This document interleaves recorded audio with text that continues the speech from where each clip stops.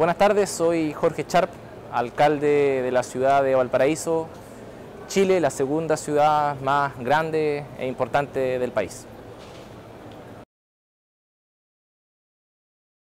Creemos que la disputa por la construcción de ciudades más justas, igualitarias, eh, con solidaridad, con profunda democracia, eh, no es tarea solamente de una ciudad en particular o de un continente en particular, sino que está inserta en, la disputa global que hoy día existe en, las fuerzas políticas y sociales de cambio. Eh, estamos en un momento donde eh, el capitalismo ha profundizado sus, sus leyes, en fin, su, su presencia a, escala, a escala planetaria y, y nos parece que en este momento es fundamental poder construir eh, una posición común entre bueno, todos eh, estos movimientos políticos y sociales que estamos disputando en nuestros estados, en nuestras naciones, eh, en nuestros continentes, este tipo de ciudades.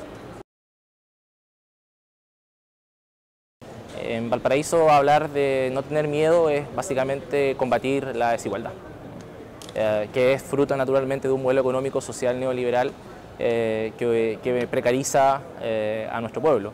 Por tanto, hablar de una ciudad sin medios en, Valparaíso, en Chile, es hablar de una ciudad que garantiza derechos y vida digna, es una ciudad donde la planificación urbana no está eh, en función o en atención a los intereses del actor privado, sino que en, torno a los intereses de la comunidad.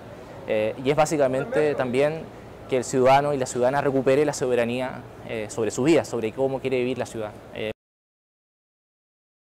Bueno, la, alcaldía ciudadana es un intento por expresar en una gestión de gobierno local una práctica política distinta. Y eso tiene expresiones muy concretas. Nosotros hablamos en primer lugar eh, de la, necesidad de eh, generar un gobierno local transparente. Quizás esta una cuestión que es natural y obvia, pero bueno, en, algunos gobiernos locales, en algunos ayuntamientos no es algo natural. Entonces hemos avanzado en, distintas acciones muy concretas vinculadas a la transparencia. ¿no? Queremos convertir al municipio de Valparaíso en el municipio más transparente de Chile. Ese es el objetivo que tenemos. Una segunda cuestión que para nosotros también es central es la que tiene que ver con la participación, es decir, un gobierno local eh, participativo. Eh, y hemos, en ese sentido, eh, buscado poner en el centro de la gestión que hemos estado desarrollando a la comunidad como actor social, en educación, en materia de recolección de desechos, en salud, en planificación urbana, generamos y producimos distintas instancias de participación donde es la comunidad la que define las orientaciones políticas de hacia dónde construir este gobierno local. Y lo tercero, eh, hablamos también de redefinir las prioridades. Eh, Valparaíso es una ciudad con múltiples carencias y, tenemos un gobierno local que además está quebrado, ¿no? tiene múltiples, múltiples problemas. En consecuencia, los recursos tenemos que saber bien cómo, cómo utilizarlos. Eh, y por eso ahí la opinión y la redefinición de prioridades que haga la gente es fundamental. Cosas concretas que hemos avanzado en esa dirección.